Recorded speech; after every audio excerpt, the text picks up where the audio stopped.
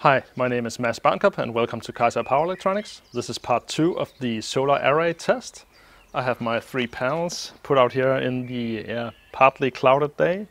Uh, seems like the sun, or the cloud that we have in front of the sun is just about to move away. So I'll just first uh, measure the, uh, the voltages from the three panels before hooking it up directly to the battery charger.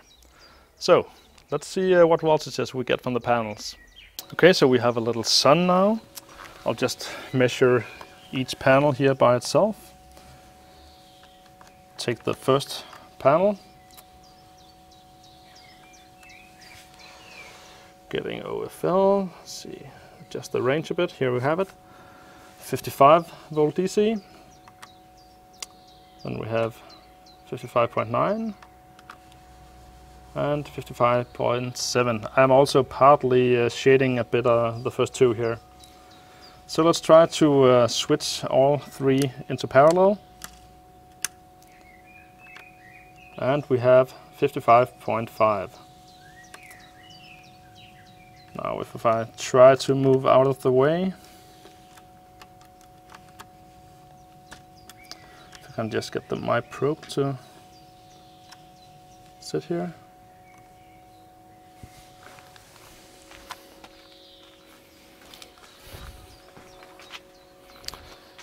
You can see the voltage, yeah, it's about the same. I will now, now go inside the, the garage and uh, turn on the uh, battery charger and we will see uh, how the voltages uh, are here on the smartphone from the uh, multimeter.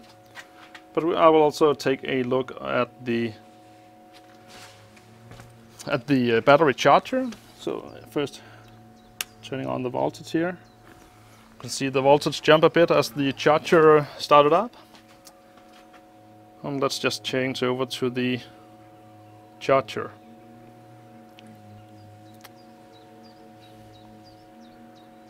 So as we can see here, it's charging, it's jumping up, up and down a bit.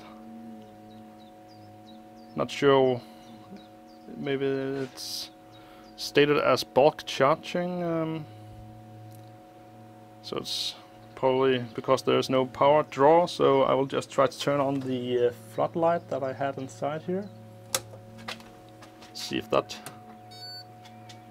changes anything.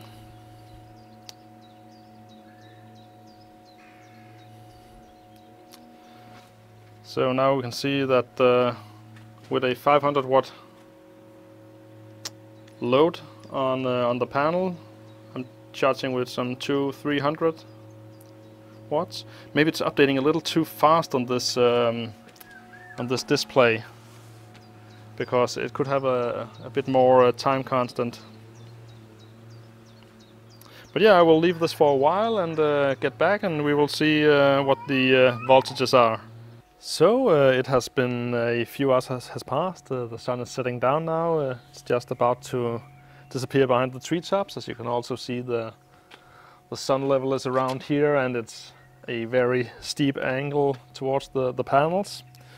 So you can see right now it's charging with 80 watts. And if we go to the uh, history view of the app, we'll see we have collected 0.41 kilowatt hours today and it has been for 2 hours and 30 minutes where it has been bulking on the battery all the time. Can also see there's a larger view here. Yeah, that's might not work so good uh, on the video.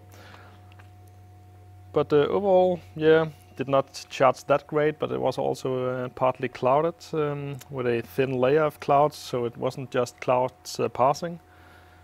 So I will do uh, a uh, part three with a full day test at a full sunny day where I can charge right from the beginning of the day. So until next time, see ya.